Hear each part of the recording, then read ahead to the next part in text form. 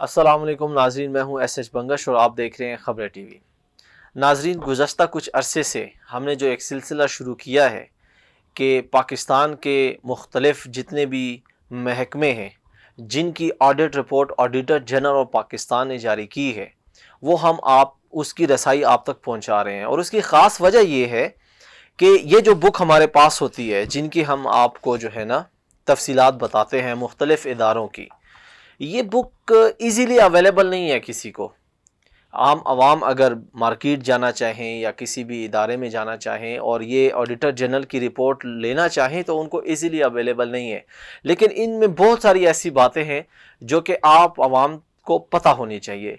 इसलिए हमने ये जो ये सिलसिला शुरू किया है कि आपको हम वो खुफिया बातें बता रहे हैं जो कि ऑडिटर जनरल ने जिनका इंकशाफ किया है, उसी सिलसिले की कड़ी में आज हम आपके पास लेके आए हैं, हेस्को हैदराबाद की एक रिपोर्ट जो कि हैदराबाद के वापडा से रिलेटेड है।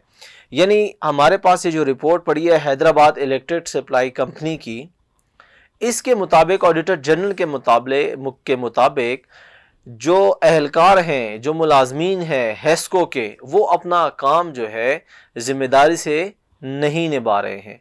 हालाँकि उनकी आप मराद देखें, उनको जो फ्री बिजली मिलती है उनको दीगर जो सहूलियात मिलती हैं डेफिनेटली एक सरकारी मुलाजिम अगर पाकिस्तान में है स्पेशली तो उसके वारे नियारे होते हैं। लेकिन उसके बरअक्स अगर उनकी कारकर्दगी देखी जाए तो वो कारकर्दगी उस लेवल की नहीं होती है जिस तरह आवाम डिमांड करते हैं। फॉर एग्ज़ाम्पल मैं अगर आपको इसी रिपोर्ट की फाइंडिंग्स बताऊँ तो करीबन जो Hyderabad electric supply company limited है, इसमें जो सबसे पहला की फाइंडिंग जो ऑडिटर जनरल ऑफ़ पाकिस्तान ने हमें बताया है, वो ये है कि भारी किस्म की कौमी ख़जाने को नुकसान पहुँच रहा है। यानी heavy loss due to weak unoperational management की वजह से जो है कौमी ख़जाने को बहुत सारा नुकसान हो रहा है। कितना नुकसान हो रहा है? इसका तखमीना कम से कम 224 अरब रुपया है। यानी जो मुलाजमीन है, उनकी वीक ऑपरेशनल की वजह से हैस्को को सालाना बुनियाद पर 224 अरब रुपए का नुकसान हो रहा है। अब ये 224 अरब रुपए कोई मामूली रकम नहीं है। जो हैस्को है, हैदराबाद की, वहाँ पर करीबन दस हज़ार मुलाजमीन है।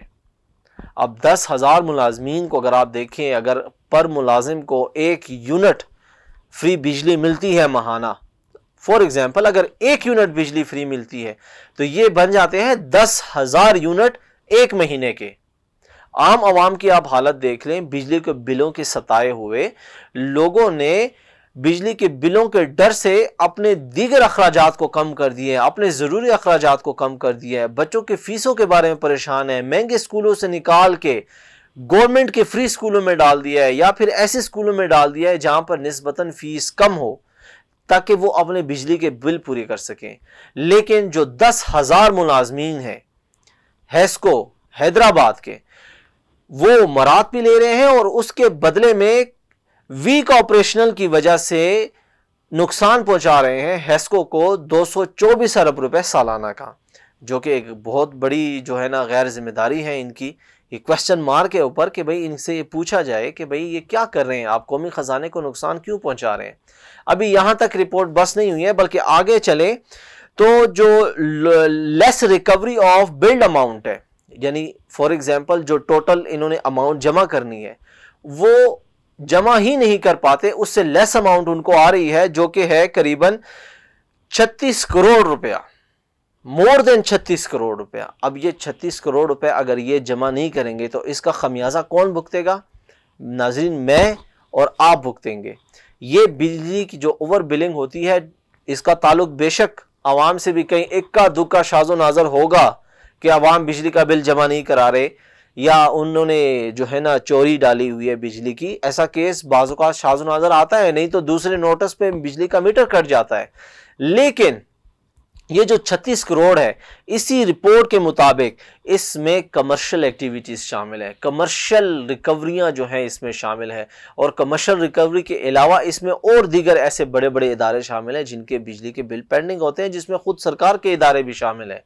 तीसरी चीज़ जो हम आपको बताएँ कि loss due to abnormal increase in A T C losses ये ए टी सी लॉसेज जो होता है, ये एडजॉइंट जो है ना कमर्शियल एक्टिविटीज़ होती हैं, जिनका जो लॉस है रिकवरी है, वो एबनॉर्मल है।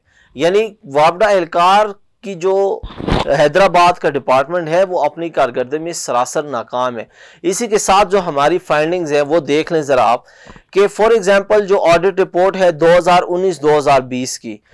2019-2020 में जो टोटल इनकम हुई है हेस्को को, वो है अट्ठासी करोड़ रुपया। यानी जो बिजली के बिलों की मद में जो इन्होंने इनकम वसूल की है, वो अट्ठासी करोड़ रुपया है।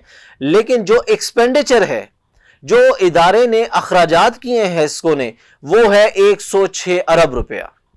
अब इसमें जो 17 करोड़ का गैप आ रहा है, ये 17 करोड़ डेफिनेटली कौमी ख़जाने से पूरा किया जा रहा है।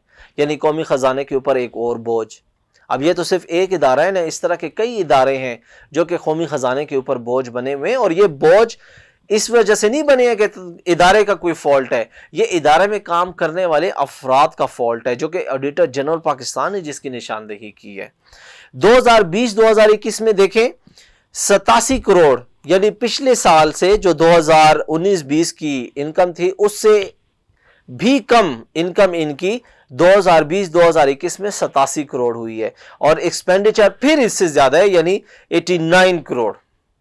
89 करोड़ के फिर इन्होंने एक्सपेंडिचर किए हैं, जबकि इनको कुल मिला के अगर एकोमलेटेड लॉस देखा जाए जो मजमू सूरत हाल देखी जाए तो 2019 और 2020 में 223 अरब रुपए का नुकसान हुआ है हेस्को को, और अल्टीमेटली इनडायरेक्टली ये कौमी ख़जाने का नुकसान है।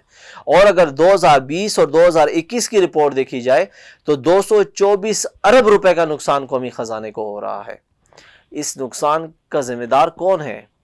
अच्छा ये नुकसान के बावजूद, ये जो कारकर्दगी है, इसमें लैग के बावजूद लोड शेडिंग की सूरत हाल देख लें।